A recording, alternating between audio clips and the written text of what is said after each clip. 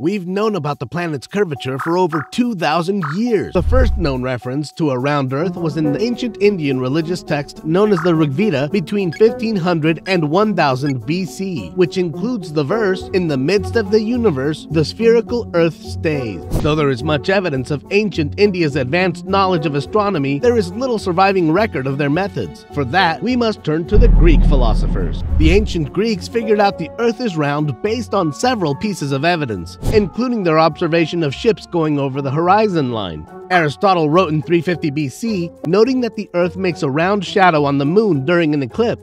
He also realized that stars appear in different places depending on where you're standing. Roughly 100 years later, humans got their measurements of the Earth's curve from another Greek mathematician, Eratosthenes. He had heard of a city in southern Egypt, Syene, where at noon on the summer solstice, the sun was directly overhead and the buildings cast no shadows. But at the same time in the northern city of Alexandria, the buildings did cast shadows, meaning the sun was at a different angle in the sky.